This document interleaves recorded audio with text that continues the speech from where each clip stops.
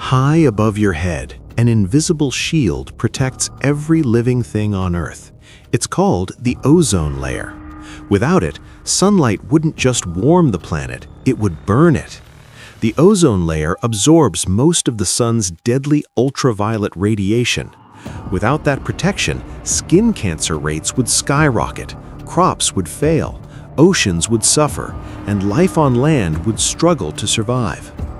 In the past, human-made chemicals began tearing holes in this shield. The damage was real. The danger was global.